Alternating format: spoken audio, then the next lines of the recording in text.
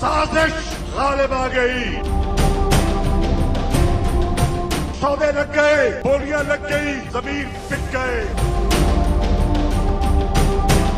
मैं आवाम की कचहरी में उस साजिश को बेनकाब करना चाहता हूँ।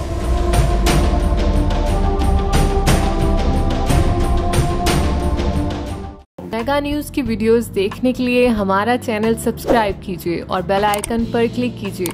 ताकि आप हमारी तमाम आने वाली वीडियोस से बाखबर रह सकें।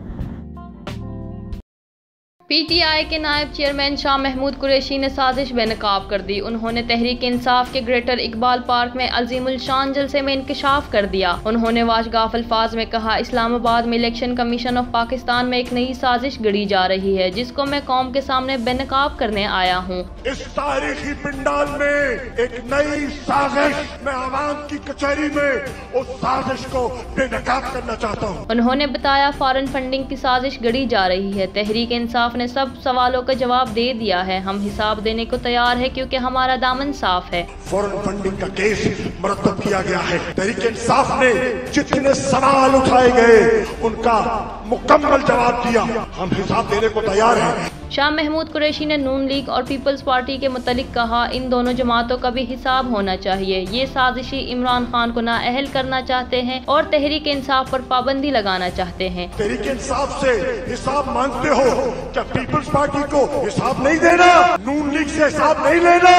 ये इमरान खान को नाअहल करना चाहते हैं, ये तहरीक इंसाफ पर पाबंदी लगाना चाहते हैं। शाह महमूद कुरैशी ने कहा, साजिश हुई, सौदे हुए, जमीर बिक गए और ऐसे कायद को फारिग कर दिया गया जिसने डट कर कोरोना का मुकाबला किया। मीशत को संभाला दिया। जिसने डटकर कोरोना का मुकाबला किया, कामयाबी हासिल की। मीशत जो बिगड़ी हुई थी, उसको संभाला दिया।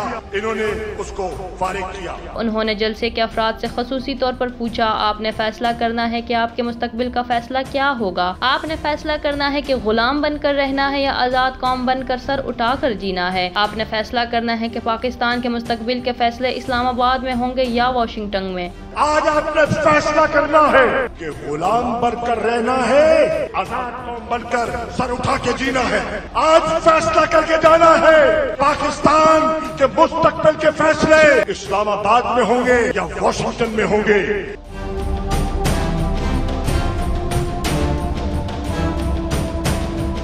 अगर आपको हमारी वीडियो पसंद आए तो इसे लाइक शेयर और कमेंट करना ना भूलिएगा। हम अगली वीडियो में फिर हाजिर होंगे। तब तक के लिए इजाज़त दीजिए। अल्लाह हाफिज़।